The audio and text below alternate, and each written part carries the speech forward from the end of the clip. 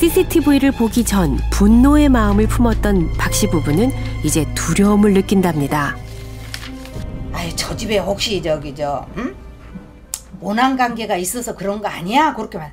내가 그러면은 원한 관계로 몰고 간다면 내가 왜 이거를 제보를 하냐고. 뭐 때문에? 아무리 생각해봐도 남에게 원한을 살 만큼 잘못한 일도 없는데 CCTV 속 남자는 왜 부부의 집에 찾아와 용변을 보고 가는 것일까요? 그는 옆집 마당에 있는 화장실에서 휴지만을 꺼내 박씨 부부의 집 쪽으로 다가왔습니다. 옆집 대문으로 들어와 담까지 넘은 것을 보면 남자는 부부의 집 마당에 변을 보겠다는 굳은 의지를 가진 것으로 추정되는데요. 8년째 기이한 행동을 이어가는 이 남자는 누구일까요? 혹시 저 혹시 여기 알몸으로 다니는 사람 본 적 있어요? 아이 난잘 몰라요. 그죠? 나도 어제 그 요즘에 어디 또 갔다 왔기 때문에 못 봤는데.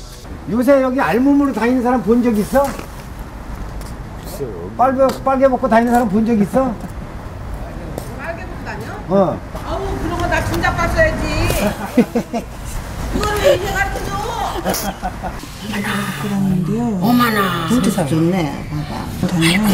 아니 얼굴이 설마 했던 마음이 CCTV 화면을 보는 순간 어머나로 바뀌어 버리는 남자. 그를 찾아야 합니다. 똥싼 사람 잡으러 다니는 게? 낮이 누가 와서 싸가? 밤에 싸요. 밤에 와서 밤에도 생겨? 밤에 생기다 보니 큰일 나.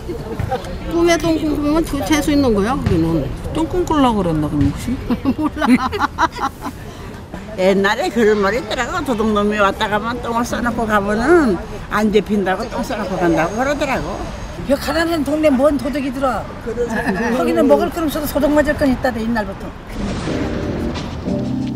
도둑들 사이에 전해져 내려온 유명한 속설이 있답니다. 남의 집에 들어가 물건을 훔친 뒤 범죄 현장에서 용변을 보면 경찰에 잡히지 않는다는 것인데요. 박씨 부부의 집에 용변을 본 남자는 도둑인 걸까요? 혹시 뭐가 도난당하거나 주변에서 도난당했다거나 그건 나는 들어보지도 못해. 일체 그런 게 없어요. 훔쳐간 건 없어요. 한 번도 똥을 싸놨어요. 알몸으로 돌아다니는 그의 손엔 화장지 외에 다른 물건은 보이지 않습니다. 남자의 기막힌 행동엔 아마도 다른 이유가 있는 것 같은데요. 약간 정신 이상자인가 봐. 정상은 아니고 막 뻘고 벗고 담이 올라가 있고 그러고. 복구 가서 그렇게 하는 짓을 봐서는 이거는 변태 뭐 이런 저기 여러 가지 생각을 해봐야 되겠지. 속옷조차 입지 않은 채 골목을 돌아다니며 담을 넘는 남자. 그가 노출증 증세를 가진 변태 성욕자일 수 있다는 겁니다. 그렇다면 관할 파출소에서도 남자에 대해 알고 있을 텐데요. 알몸으로 돌아다니는 남성에 대한 신고가 접수된 적이 있는지 알아봐야겠습니다. 비슷한 사건으로 접수된 건 없어요.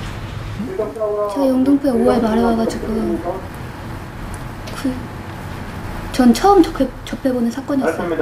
우리 팀에서는 그런 건 없었어요. 박씨 부부가 CCTV를 확인한 그날 접수된 한 건의 신고만이 있었답니다.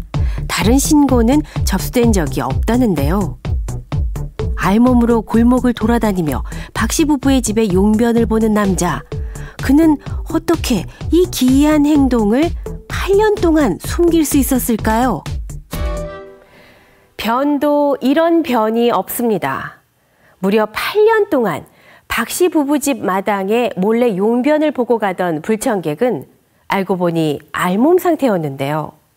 기이하다는 말로는 부족한 불청객의 행동. 그는 왜 하필 박 씨 부부의 집을 택했을까요? 드디어 때가 왔습니다. 불청객은 주로 새벽을 틈타 박씨 부부의 집을 찾았는데요. 한 달에 서너 번씩 들려가는 그가 이제 나타날 때가 되었습니다. 그런데 불청객이 나타나지 않습니다. 평소대로라면 두세 번은 왔어야 하는데